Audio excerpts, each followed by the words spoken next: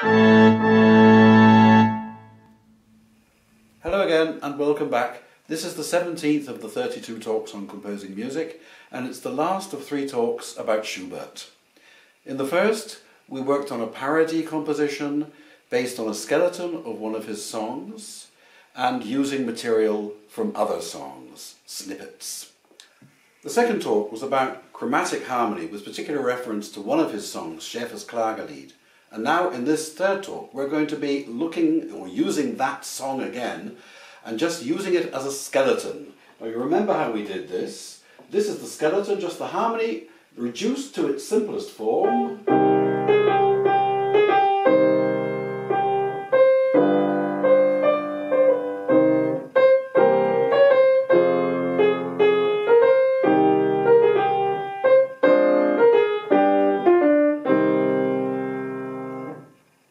So I've got my skeleton, I can work through the song on that, on those lines. And now I am going to take just that skeleton and produce new lines. But first of all, I need my text. So I'm taking now from Moses Mendelssohn. This is the grandfather of Felix the composer. Yeah?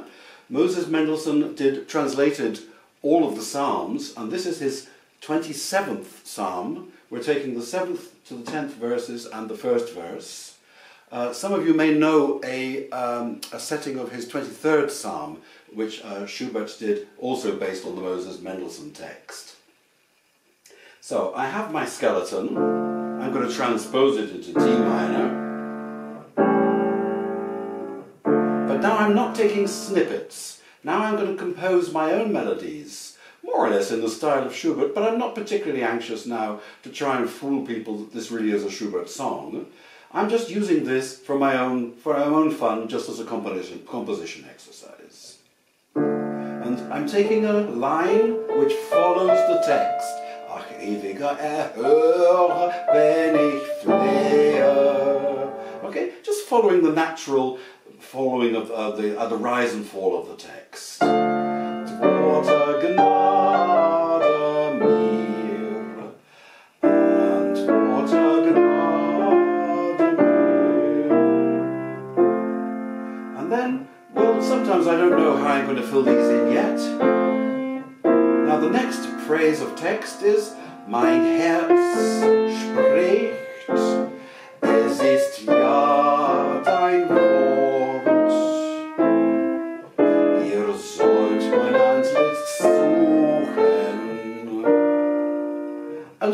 So I work through the psalm. I put it first of all so that the text more or less fits the music that I have at my disposal. And then uh, I can see how this fits into the harmony using melodic lines, just one line for the time being. I'm going to start composing some counterpoint later on, but this is just going to be my basic line which holds the thing together. So my next job is to look at three-part counterpoint. I've decided to set this like Schubert sets the 23rd Psalm for two sopranos and one alto voice and piano.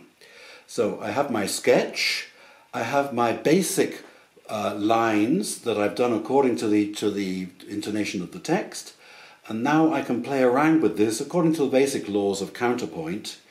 And um, I'm, what I'm trying to do, obviously, is as much imitation as possible and to give the individual voices their own interesting lines to sing as much as possible, not just filling in the harmony. Okay? This obviously takes quite a long time. I'm not pretending I did this in two seconds. But anyway, this is what then comes out, and I'm going to play this now from my talented friend again.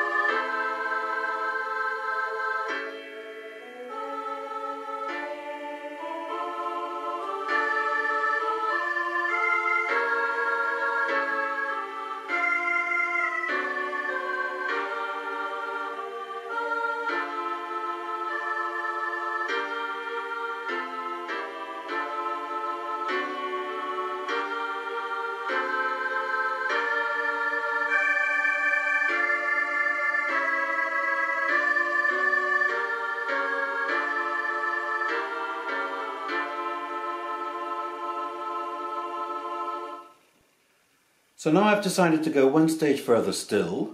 Obviously I have to do the piano part, but whilst I'm doing that, I think, well, I may want to add a little introduction, and perhaps I might just write this now for a four-part choir.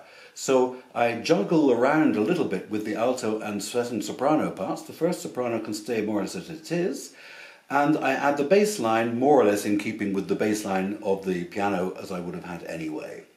So I have a ritornello, an introduction, and a, a, coda, a little bit, a couple of extra bars I've added in the middle, give the choir a little bit of a break, and um, and then this is how I would then present this. This is something that we could perhaps present in a church service.